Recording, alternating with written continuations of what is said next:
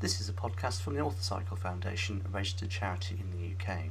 In this podcast, we're going to talk about the application of splintage for lower limb fractures. When a bone fractures, the bone ends overlap. This is because of the pull of the muscles. There's bleeding into the potential space around the fracture, and there could be pain with movement. There's also potential for more soft tissue damage. When we put on traction, we pull the bones out to length. This could be direct using the bone itself or indirect using the soft tissues as a proxy put on traction in order to stabilise long bones prior to surgery.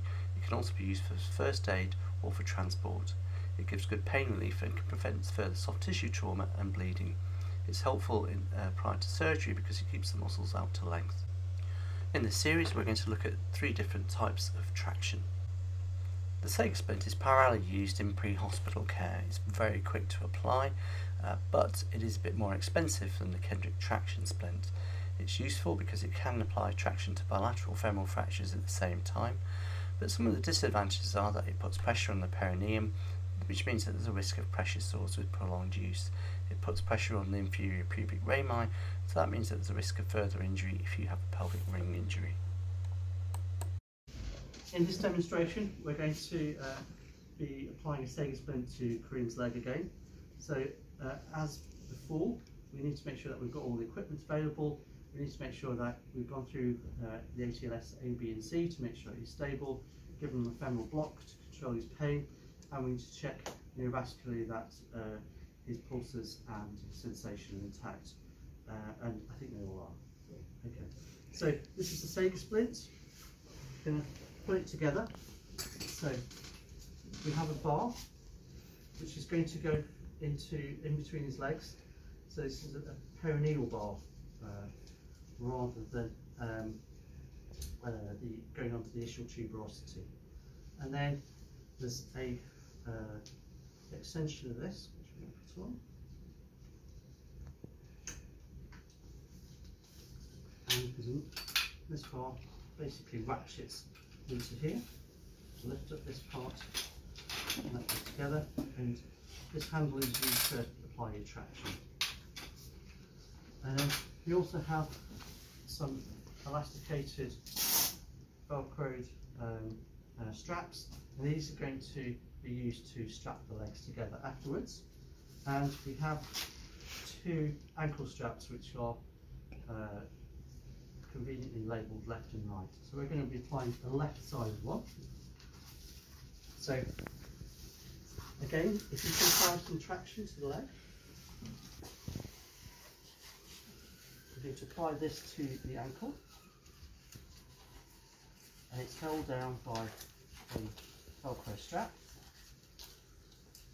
And got a little loop that goes underneath.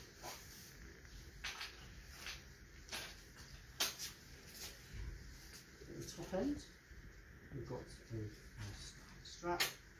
And this is going to be going into the groin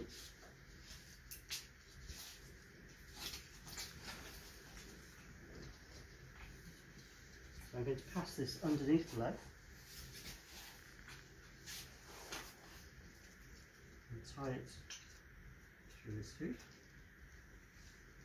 Goes through both and then down through the back. I'm going to push that, again being careful with a man not to trap the genitals. And then tighten this strap up a little bit. At the bottom end of the Sager Splint there's a little hatch which I can put the boot hitch onto. So I'm going to literally loop that inside.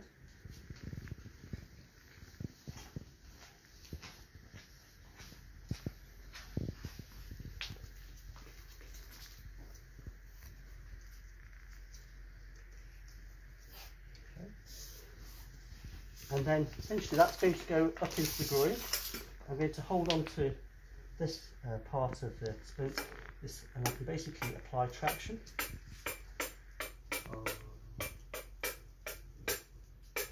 Okay, so we've now got quite decent traction applied to his leg.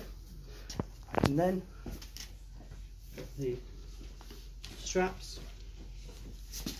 And what I'm going to do is I'm actually going to tie both legs together. I'm going to pass this underneath both.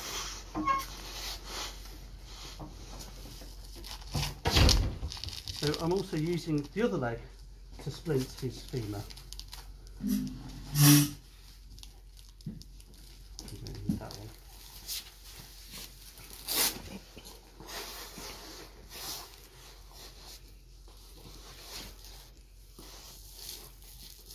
So I've tied his legs together in several places.